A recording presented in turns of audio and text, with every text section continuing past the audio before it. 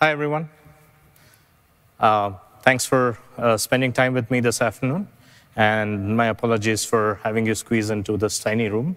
But if I may ask, uh, if you can come even closer, you'll be able to see this, the code snippets that I'm going to show later. So if you want to do that, you can uh, move forward. Uh, so let me uh, start by talking about myself.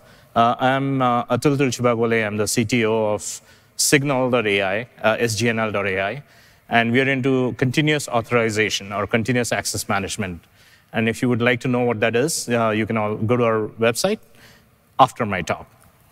Um, and some of you might know me from my work on standards called the Continuous Access Evaluation Protocol, something I started when I was at Google and has now grown into this uh, pretty um, sort of big movement. But this, uh, this presentation is about another exciting standard that I'm working on in the IETF called transaction tokens and it helps you uh, secure your identity and authorization in microservices. So let's get started.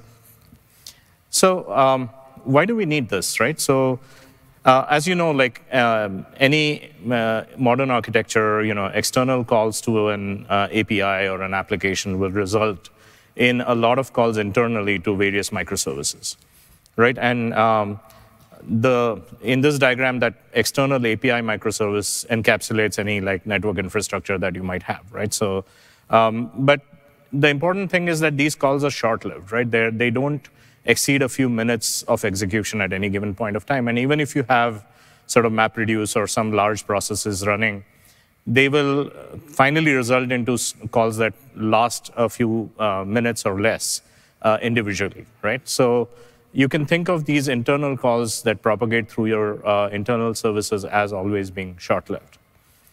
Now, um, unfortunately, there are a lot of attacks that are possible where a VPC might be compromised. And as you might know, some of the recent uh, pretty um, damaging attacks have been as a result of compromise of privileged users um, that, you know, that were uh, compromising the VPCs of companies, right?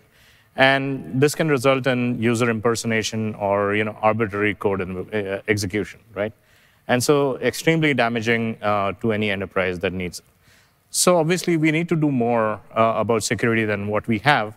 So today, most commonly, people use implicit trust. If you're in the VPC, you can just call any service, and um, you know it doesn't matter um, because you're in the VPC, you're fine, you're trusted, which is not great. Um, you know, there's something that has come up uh, recently, which is you know service-to-service trust, where you have some kind of a trust infrastructure, and I'll get into that uh, how it works and all that. And but you have established trust between uh, a service and another service, and make sure that only those services that are configured properly can be called can can call other services, right?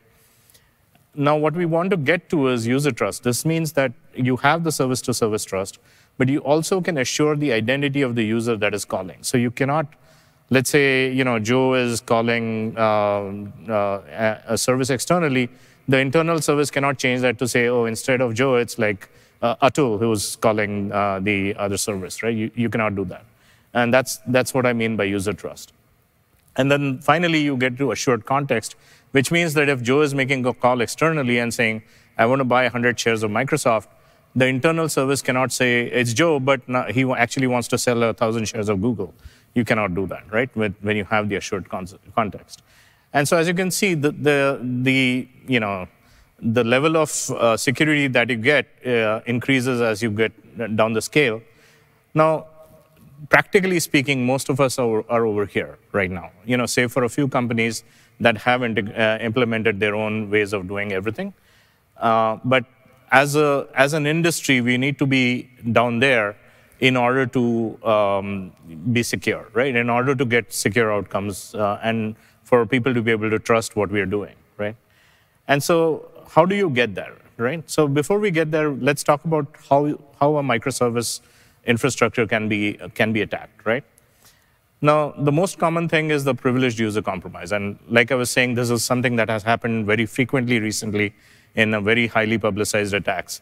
And it can be done through credential compromise or through session hijacking, where somebody just steals the token after you've done all your strong authentication and all that. And so it doesn't matter that you've implemented the best you know, passkeys or whatever security mechanism that you want, but if the session gets hijacked after that, then you know, you're kind of lost after that. Um, so the, what the attacker can do is they can make spurious calls. They can you know, uh, uh, insert their own services uh, into the VPC. And it's effectively like remote code execution in the cloud, right? And so terrible, terrible compromise. The other one is, you know, there may be malicious insiders, and they may have different motivations. Uh, you may want, you may have people trying to benefit financially on the side while doing their job, or you may have people who are disgruntled employees and want to compromise something about their employers. Uh, but there is also this category about, you know, curious insiders, like if I have sensitive data about my customers and a customer service rep wants to say, hey, you know, let me see where Taylor Swift, Swift li lives because she's one of our customers. You, you shouldn't allow that kind of stuff to happen because that is a huge liability for the company, right? And so you want to protect against a malicious insider attack as well, right?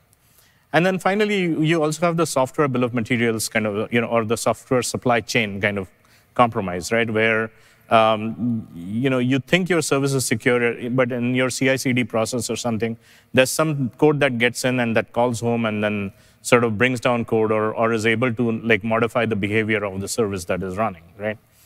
And so to protect against these and, and other attacks that you know maybe uh, I haven't included in this presentation, uh, let's talk about how to do that, right?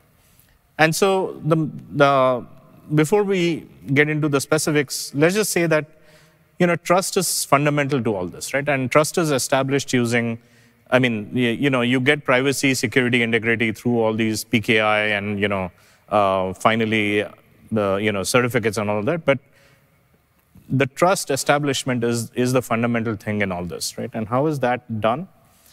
It's done using two things. It's using either, you know, transport level security like TLS, or it's done using digital signatures, right? And those are the you know, most common ways of doing it. Maybe there are others, but for practical purposes, this is, this is what it is. Um, now, you need, in order to verify signatures, in order to verify certificates, you need to know the public keys, right? And then you have the public key infrastructure, like, you know, public CAs and all that. But also, like, you have mechanisms of distributing public keys within your VPC.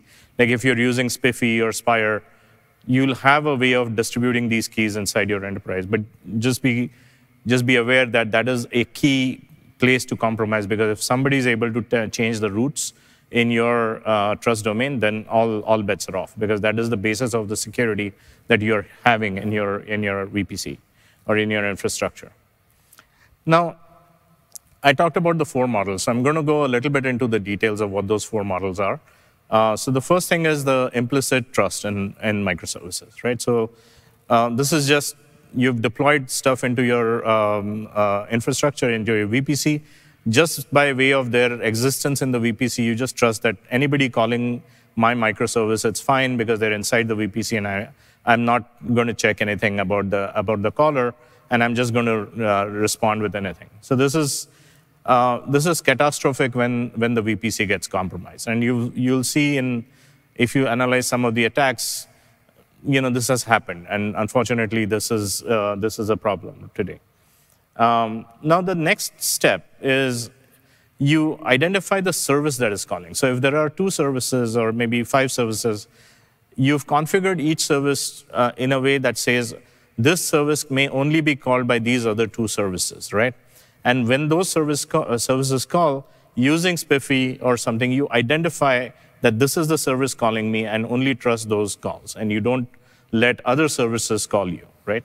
And as a result, uh, you know, you get um, uh, better security because you, an attacker can't just inject their own uh, service into the VPC and uh, start calling, or if a um, you know relatively unused service is compromised, that's okay because it's not configured to call anything, and, and the damage can be mitigated, right? But you know you still have a lot of vectors that are uh, still unprotected, right? Now, uh, like I said, you know you see that little green logo over there. That's the SPIFFE logo, and you know if you haven't looked into SPIFFE, I would highly recommend you to look into SPIFFE. Uh, it gives you a great way to do service-to-service trust. There's actually a little booth in the, uh, on the show floor uh, about SPIFFE. You can go over there after the talk and, and talk to those guys. Um, and it's, I think, the most common way in which people are uh, doing service to service trust right now. And so let's talk about you know, where we want to go, right? We want to go to user trust. And how, what does that mean, right? It means that um, you can be assured not just about the service that is calling, but if, let's say, an external user, say Joe, is calling, then you will know at every service in the call chain that it is Joe that is making the call, right? That cannot be changed. And how to do that, we'll get into, but that's the meaning of user trust, right? So it mitigates a lot of the attacks because now you have a big limitation on, um, you know, you cannot do user impersonation in, in, the, in the call chain, even if you attack the VPC, but at the same time, you can still uh, change the parameters, right? And the best security that you can get is, uh, you know, the assured context. What that means is that it's not just that you're uh, assured of this is the user is calling. You're also assured that this is the user and this is what they uh, are expressing that they want to do, right? And so if it's Joe calling and saying, I want to buy 100 shares of Microsoft, down the call chain, you will know that, yes, the, that was indeed the way in which that initial call was made, right? And so there's no way of changing these things. Um, and so how do you get there, right? So we are introducing this concept called TRATs, uh, transaction tokens. This is a um, currently an individual uh, draft in the IETF OAuth working group. It's being, uh, you know, I couldn't go to that uh, meeting of IETF because I'm attending here and speaking here, but it is actually being proposed as an, uh, you know, proposed to be adopted as a working group draft soon. So hopefully in a few months' time, uh, we should see an RFC come out of all this. And so what are they? They're basically just short-lived JWTs that assure the call context and the user identity, right? And so I've told you what TRATs is, and you know I think we can end the presentation here. But let's get into a little bit of details, right? So, so like I said, it's a short-lived JWT. Um, and it uniquely identifies a specific call chain, right? So when, when an external call comes in, it sets that context and it's able to identify down the chain that this is, this is what the user was trying to do. This is when they call, you know, all those details, and I'll get into what all those things are. But it, it assures the user identity. Uh, it assures, the, it assigns a transaction identifier so that the whole call chain sort of hangs off of that one external transaction and it has the originator information like which was the endpoint that was called, you know, what was the user IP address that was called from, and all those things. And um, you know, what is the purpose of the call? There's something, uh, and I'll get into what the purpose is. And then the transaction context, like you know, what is the user actually trying to do? What are the parameters? Um, you know, things like that may not be in the call uh, external call, but you can have some computed values like what is the assurance level of the user and things like that. And so uh, all that comprises a, a, a, transaction token. So the, the benefits here are basically that you can uh, you know, limit damage uh, even if your VPC is compromised. And you can do that by providing an immutable context throughout the call chain, right? So you basically can configure each service to say, unless I can verify that uh, transaction token, uh, I'm not going to do anything. And so as a result, if any spurious calls are made or if any parameters are changed, doesn't matter because the transaction token cannot be modified. And so, you know, you, you now have uh, a way of preventing damage, right? And there is one limitation in the way transaction tokens work today, and there's some future work that I'm going to go into uh, in the talk, that you can still have a possibility that a service in the middle grabs a transaction token and then reuses it uh, you know, uh, bypassing some other checks in between. And so there is, there is no call chain, you know, uh, information inside the transaction token. And I'll get into how to fix that. But for now, because the transaction tokens are short-lived, less than five minutes or you know whatever you want to configure it, but less than what it'll take for you to execute the entire call chain. Typically, it's not going to be more than a few minutes. You, the chance of reusing those transaction tokens to do a replay attack or something are very small. And so it's okay to um, have that possibility for the sake of efficiency. What you'd really like is, hey, you know, uh, I know that Joe called to uh, buy 100 shares of Microsoft, but has the fraud protection service actually processed that call? I need to know that that was executed before I can execute the trade, right?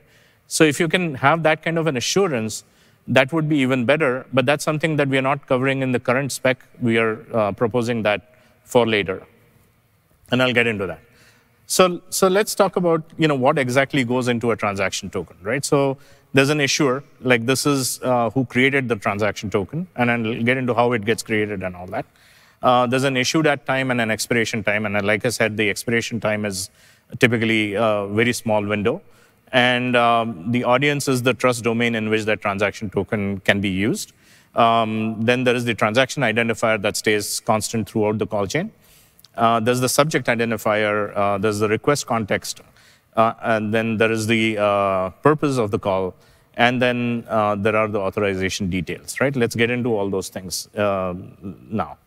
So um, the subject identifiers in, in transaction tokens are um, defined from a related spec that is soon to be an RFC in the IETF. It's called the SEC Event Subject Identifier spec. And it defines subjects in different ways, right? So you can have simple subjects that have only one component, like an uh, email address or a user identifier, a phone number, or whatever way you choose to identify a user, right? That provides a lot of flexibility. Or it can be a complex subject. Now, a complex subject would be basically something that needs multiple entries to identify the same subject. Like in this case, you're saying that this is uh, the email, but you're also saying that, well, uh, this is the user with this email address, but I also want to say for which tenant in my system is that user uh, acting right now, right? So the same user might be in two different tenants, and you want to specify the tenant. So you can use a complex subject to clarify which particular uh, uh, you know tenant that user belongs to, or whatever uh, you need to specify a subject uniquely, right? And there is some work going on. There is some proposed changes to this where we can use the sub um, you know, field of a JWT uh, to specify a subject by a single simple string, and that would be a shortcut to just uh, any of these things. Um, the, the other uh, important claims, like I said, is the requester context, uh, which, um, you know, it's a claim that identifies the origina originating component. Like, you know, this came from this particular API gateway, or this, came, this call came into this particular endpoint, right? Or this call was originated from this IP address by the user. You know, all of those things that may be important to services that, that are down the call chain, right? Um, it can also have some other environmental information, like maybe you know your time zone or uh, other things that you know can be useful uh, for processing. Um, the uh, other one, which is purpose, and this is what gets into the transaction token server, which is going to issue that transaction token. Based on that external call, there is a representation of that. The you know what is that caller trying to do? Uh, that is trying to, we are trying to capture that with this field called the purpose. And the reason why this is important is because you don't want that transaction token to be misused in a way that is not intended of how it was supposed to be used in the first place. Right? So if, if Joe is calling for executing a trade, that token should not be used to say, well, give me historical data for this, this stock or something like that. Right? So you need to be able to specify. And you can think of this like a OAuth scope, but we are specifically not using the word scope here because uh, you don't want to confuse transaction tokens with OAuth tokens, and I'll get into that a little bit. And these are so completely different things, uh, just, just so you know. And so finally, the most important thing in the transaction token is the authorization details, right? So this could be like parameters that are um, specified in the external request or it could be things that are inferred from uh, you know those uh, those parameters, right? Like for example, the last um, you know the last thing that you see over here um, is the user level, right? And the user level is uh, claimed to be a VIP. That is something that was inserted by the, the issuer of that transaction token, right? It wasn't something that came into the external call, right? So it could be a combination of things that come into the external call or things that the transaction token service decides that needs to be specified and is immutable through the call chain, right? And so what this does is um, basically gives you a complete picture of what the user is trying to do, where did the call originate from, and what is the purpose of the call, right? And so let's let's take a quick look at how this whole thing works, right? So this is sort of a flow diagram. The the box at the top here is the external microservice that uh, that is going to be called, and this, like I said, it encapsulates any network infrastructure that you might have, firewalls, API gateways, and all that. And then from there, it sort of hangs all these internal services that you know that are just called uh, directly, right? And this is the new thing that we're introducing, which is the transaction token server. And so let's see how it works, right? So what happens is the end user or uh, the external application will invoke the um, uh, API microservice. And the API microservice will present the authentication information. It could be an OAuth token or it could be something else. It presents that authentication information, the call context, everything that comes in, and it gives it to the transaction server. And it says, okay, now mint me a transaction token, right, based on this. Now, important thing to note is, let's say you get an OAuth access token or an OIDC ID token or something in the input. You're not going to put that into the, the TRAT, right? The TRAT is like its own thing. It's just used to assure the transaction token service that, yeah, this actually represents a legitimate sort of uh, thing. Now, why this works is because if you can now control the evolution of your API microservice, right, then you can be sure about uh, you know, issuing a transaction token securely. Now, all the rest of your, call, you know, your services in your call chain can have a CI/CD pipeline that is you know, not as secure as what is needed to update your API uh, microservice, right? And as a result, you get better security because let's say one of these internal microservices gets compromised, the damage becomes extremely limited, right? And so what this, uh, so let's let's go into what that happens. What happens after that is that the transaction token server now verifies that request, makes sure that it you know understands uh, you know what the user is trying to do, verifies the trust on everything, um, does its own computation about what to put into that transaction to uh, token, and then issues the TRAT back to the um, API microservice. And then that transaction token is then issued, uh, then just propagated down in the call chain uh, all the way to any service that requires it, right? Um, so this is basically just how transaction tokens work. And um, okay, so how does the actual communication between the API microservice and the transaction token server work? It's using a, a spec called OAuth uh, token exchange, right? So there is an existing RFC on how you can uh, do a token exchange with an OAuth server. We're using that same spec uh, to issue transaction tokens, right? Even though what we're issuing are not OAuth or uh, OIDC tokens, they're transaction tokens. Now, there is a specific way in which you have to use the OAuth uh, token exchange uh, protocol in order to use to get transaction tokens. And so uh, these are the way, these are the things that you need to do is that you know, the subject token field has to be the external token that was used to authorize the external call. The subject token type is the external token type that you got. And the RCTX parameter um, contains the information that you need to generate the TRAT, right? Um, I'm sure you have a few questions about it. I'm happy to explain to you after the, uh, uh, after the uh, talk. Um, so now, in response to a, a, a OAuth token uh, exchange request, what the transaction token server does is it basically does all its computation of whether this is a legitimate request, you know, whether you know this transaction token should be issued or not. It does all that computation and says, okay, now I'm going to issue this transaction token, and then issues a particular transaction token. I explained to you all the fields. The token type in the response is TXN token, which stands for transaction token, and um, you know. Uh, this is how the OAuth token exchange protocol fields are used uh, to provide the response. And like, uh, you know, there's no refresh token or something like that in the response. It's a, a requirement of the strat creation process.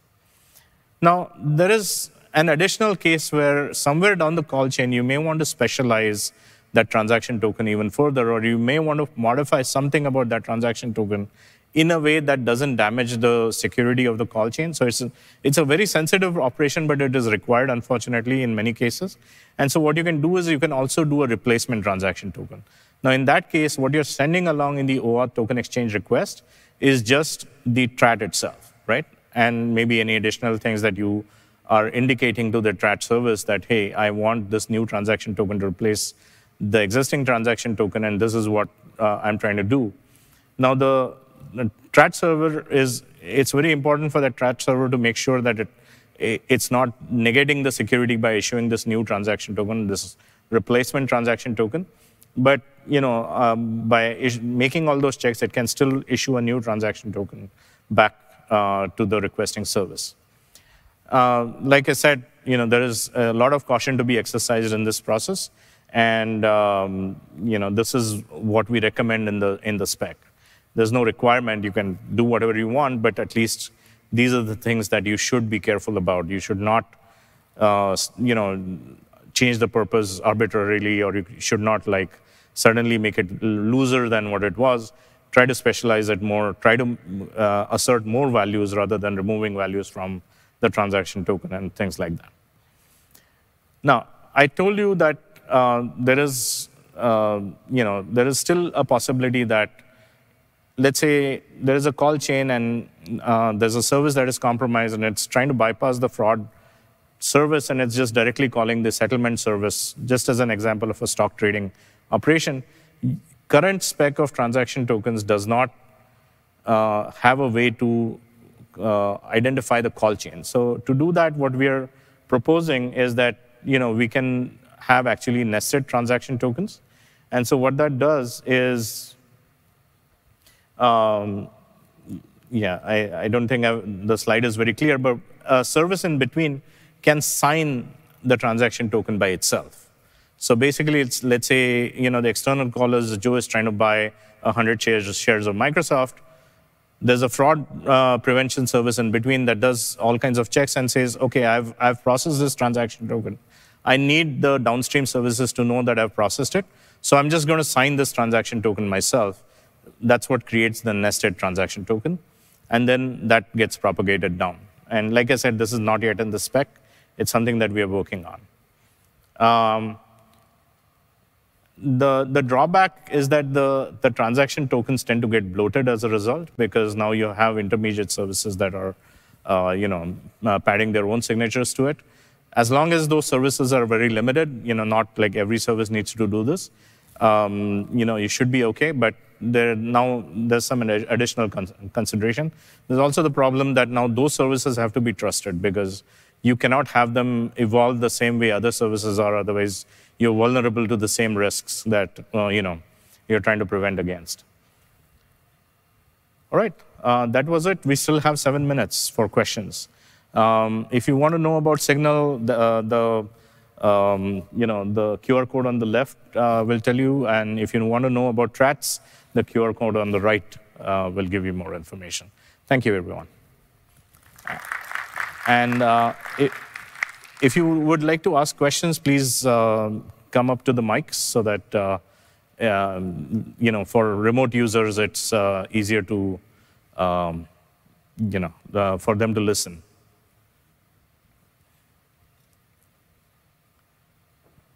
Yes. Hi. Uh, thank you for the talk. Uh, do I understand correct? Like, if it's there's a call chain, then uh, service one will repurpose a token so that the operation of service two will happen. Uh, but then, uh, if you have to enforce some policies, then the transaction token server has to be aware of the the flow of the the operations uh, in order to constrain it? Uh, no, I think what the transaction token server is trying to do is basically just assure something about that call chain. It doesn't really need to know which services that token is going to get propagated to. Because all it's trying to say is this external caller is this person or this application that is calling. And it's saying that, oh, these are the things that are immutable about this transaction. Like this is the, um, let's say it's a share settlement transaction, you know, these, this is the shares we're talking about, this is the quantity, you know, any other context that needs to be preserved throughout the call chain. It doesn't need to know which service is going to get invoked. But, but then when, uh, so let's say in your buying shares example, right? So there's a, a token that allows you to buy uh, the shares, but then you need to request the balance of the account right? So then how would the service number two know that, okay, I can use a buy shares token Uh, to give arbitrary uh, account numbers? No, so this, what the service is going to do is it's going to check the, the content of the TRAT, right? Hmm. It has the public key of the TRAT server. It's going to verify that this TRAT came from that server, right? And then it's going to say, okay, this allows me only to do these things, right? Hmm. And so it can only do those things, right? And so e- even if it tries to modify something, let's say it tries to modify something about that TRAT, the downstream service is going to reject it because it, the, the signature won't compute, right, on the TRAT. Okay. Thank you. Sure.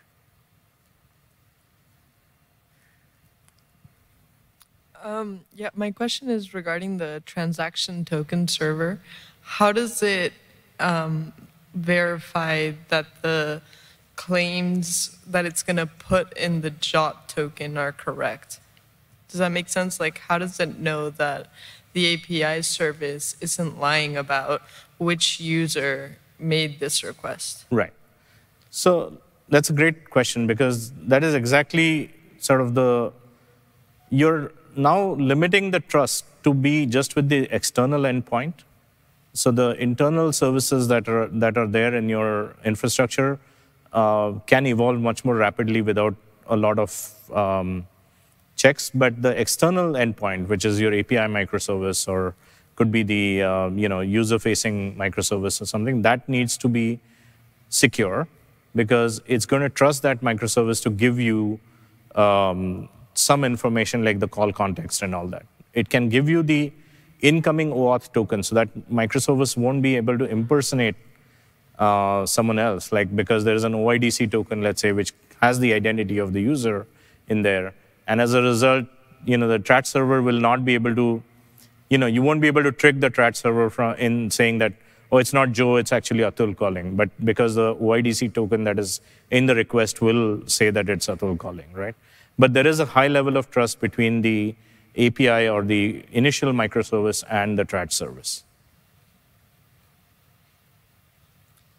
Uh, this might be a dumb question, or but uh, this reminds me of a little bit of the open telemetry and how you have like a tr- root trace, and then you have spans, and you've got like telemetry being emitted by each individual service towards an outbound thing.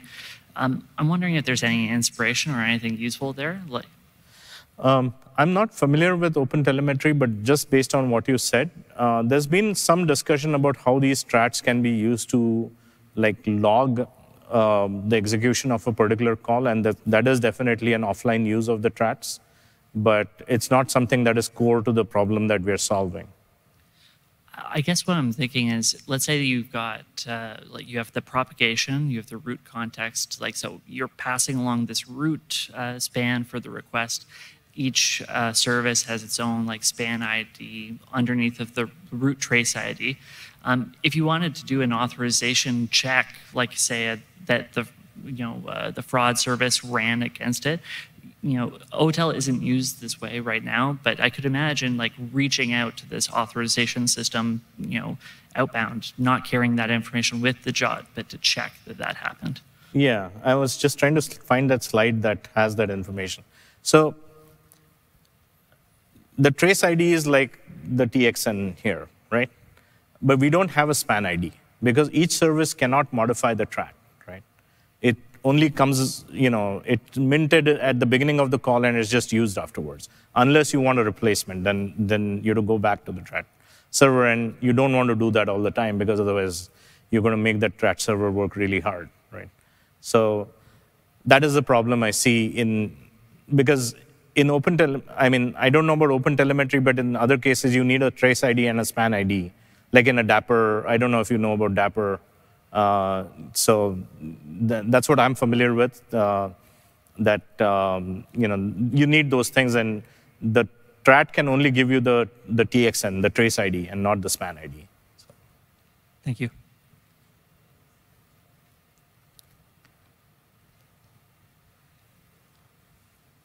Thank you for the session. So question is, the transaction token never goes back to the user, right? It's it's No, it's, it's only inside the. inside. If you see the uh, audience value, right, it's, it's the trust domain that you have internally. It doesn't have any meaning outside that uh, trust domain. Okay. So second question is, you said uh, session hijacking.